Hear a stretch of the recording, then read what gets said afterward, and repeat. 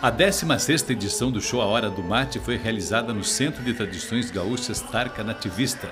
Integrantes do CTG prepararam o tradicional arroz de galpão, o suficiente para servir cerca de mil pessoas. Para provar o prato veio gente de toda a região e também para ver os shows. O primeiro foi com Wilson Paim, que há muito tempo não cantava em Pato Branco. Sigas em frente, não olhes para trás. Não poderia deixar de cantar seu principal sucesso.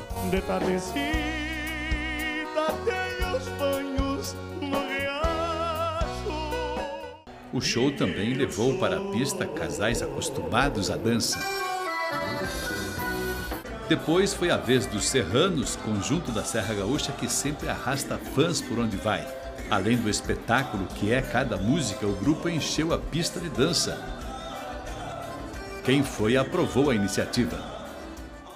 100% e deu para dançar bastante e se divertir bastante. Espero que o ano que vem seja repetido. Um evento muito interessante, eu acho que cada vez está ficando mais atrativo, né? Esse show da Hora do Mate, essa comemoração de aniversário.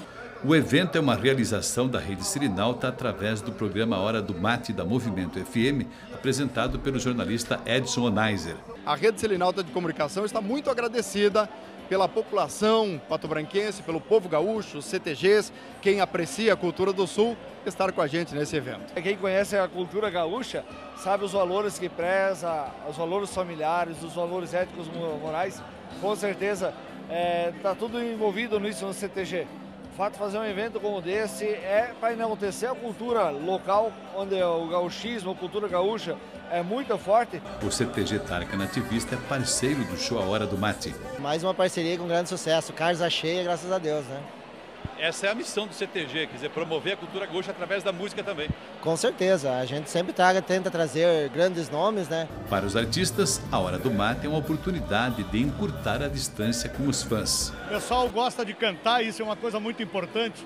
Quando a gente puxa uma música, já vem o aplauso, porque eles já reconhecem o trabalho na, na própria introdução e é gostoso da gente cantar. Eu fiquei muito feliz.